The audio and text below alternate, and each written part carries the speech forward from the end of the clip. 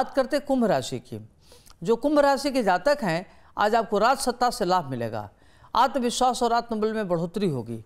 आज आपको नेत्र से थोड़ी पीड़ा होने की संभावना बन रही है। आर्थिक स्थिति सशक्त होगी।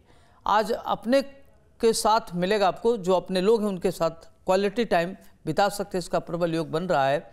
पारिवारिक स्थिति अच्छी रहेगी, दाम्पत्य जीवन अच्छा होगा माता पिता का सुख मिलेगा। सावधानी क्या बरतनी है? अपने नेत्र पर ध्यान दें। उपाय क्या करना काली गाय को चारा खिलाना आपके लिए अच्छा रहेगा। शुभ अंक है आठ, शुभ रंग है सी ग्रीन, लक मीटर है छः हरे कृष्ण। अब कर्पूर गौरम, करुणावतारम, संसार सारम, भुजगेंद्र हारम। सदा बसंतम हृदय रविंदे भवम भवानी सहितम नमामि। नमस्कार, मैं हूँ ज्योत्साचार्य डॉक्टर अरविंद त्रिपाठी। आप देख रहे हैं भाग्य गुरु कार्यक्रम। भाग्य गुरु कार्यक्रम में आपका बहुत बहुत स्वागत है। आज हम आपसे बात करेंगे कि पंचांग की क्या स्थिति है, कौन सी तिथि है, कौन सा नक्षत्र है, कौन सा योग है, कौन सा करण है। चंद्रमा किस राशि पर रहेगा, सूर्योदय कब होगा, सूर्यास्त कब होगा, सारी बातें हम आपको बताएँगे। इसके बाद बात करेंगे कि आज का महामंत्र क्या है, महामंत्र का जब कैसे करेंगे जब करने से आपको क्या लाभ मिलेगा। अब आइए हम बात करते हैं आज के पंचांग की। आज है एक अगस्त 2024 दिन है गुरुवार। द्वादशी तिथि है मृगसरा नक्षत्र है, सूर्योदय हो चुका है सवेरे छः बज के पंद्रह मिनट पर, सूर्यास्त होगा शाम को सात बज के चौदह मिनट पर। तैतिल करण है, आज चंद्रमा रहेगा मिथुन राशि में। आज शुभ मुहूर्त है, बारह बजे से लेकर के दोपहर बारह बज के चौवन मिनट तक रहेगा। राहु काल है, दो बज के आठ मिनट से लेकर के तीन बज के उनचास मिनट अपराह्न काल तक रहेगा। दक्षिण दिशा का दिशा दूसूल है। आज आपको एक बात का ध्यान रखना है कि चंद्रमा मिथुन राशि में।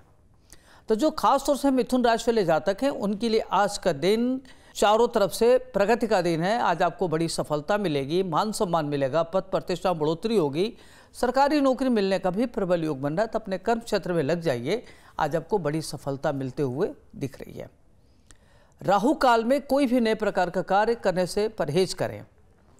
दिशाशूल में यात्रा कतई न करें। दिशाशूल में यात्रा अगर करते हैं तो यात्रा सुभद नहीं होता। लगता यात्रा लंबी दूरी की है, पूर्व निर्धारित है पहले से। तो आप एक दिन पूर्व सोम मुहूर्त में प्रस्थान निकाल के तब यात्रा करें तो आपके लिए यात्रा सुखद होगा। दूसरी बात का ध्यान रखना है कि अगर आप कोई भी नया कार्य करना चाहते हैं तो शुभ मुहूर्त में करें, आपके लिए लाभप्रद होगा। अब आइए हम बात करते हैं आज के महामंत्र की। आज का महामंत्र है, ओम ऐंग श्रिंग बृहस्पति नमः। यह जो महामंत्र है, देवगुरु बृहस्पति का है। यदि आप इस महामंत्र का जप करते हैं तो आपको नेम, फेम, सम्मान, पद, प्रतिष्ठा में बढ़ोतरी होगी, यशस्वी होंगे। पारिवारिक स्थिति अच्छी होगी, आपका करियर अच्छा होगा, और अगर किसी को शादी विवाह को लेकर के दिक्कत हो रही होगी तो इस मंत्र के जप करने से आपकी सभी प्रकार की समस्याओं का समाधान होगा। इस मंत्र को कैसे पढ़ना है? क्या करें कि हल्दी का माला बनावें और हल्दी की माला से जप करें। और जब ये, जब करें तो कम से कम पीले रंग का वस्त्र ज़रूर धारण करें। आपके लिए काफ़ी अच्छा रहेगा।